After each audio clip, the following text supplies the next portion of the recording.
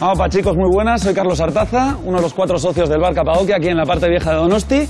Y nada, vamos para adentro, os enseño mi local. El bar Capadoquia surgió a raíz de que somos cuatro amigos aquí de Donosti de toda la vida. Queríamos hacer algo bonito aquí en Donosti, para la gente local, para nuestro público, para la gente de nuestra casa, por así decirlo. Y la verdad que desde un principio teníamos claro que íbamos a trabajar con buen producto, producto de temporada, sacar fueras de cartas, para que cada vez que vengáis aquí tengáis cositas nuevas que podáis probar y podáis disfrutar con nosotros. Súper bonita la decoración con los globos, ¿verdad?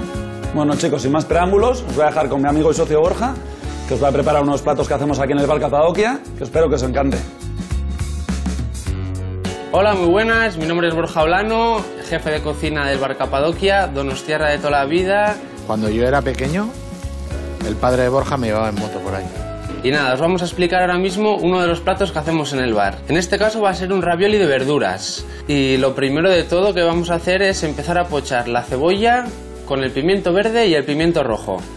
Y ahora añadiremos el calabacín y la berenjena ya que requieren de menos tiempo de pochado.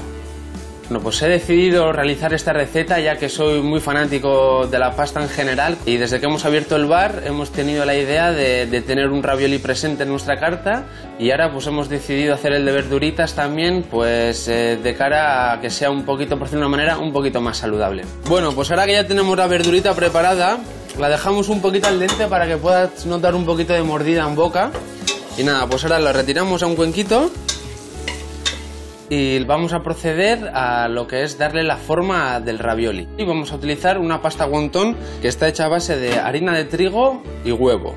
Y le daremos la forma con un cortapastas, en este caso será redonda. Una vez que tenemos ya el ravioli cocido, lo sacamos del agua y procederemos al emplatado. Ponemos nuestro ravioli en mitad del plato, lo napamos con nuestra cremita de puerro, le rayamos un poquito de parmesano por encima le ponemos los puntitos de pesto y con un poquito de cebollino picado terminamos de darle color a nuestro plato. ¡Qué bueno! Que simple, pero gozo goshua. Bueno, pues una vez con la elaboración lista, nos queremos despedir de vosotros, los cuatro socios, Anne, Íñigo, Charlie y yo. Y nada, eh, os queremos mandar un saludo y un fuerte abrazo especialmente a vosotros, Ander y Gabriela, y os esperamos en el local para que probéis nuestro ravioli. Un saludo y un abrazo. ¡Agur!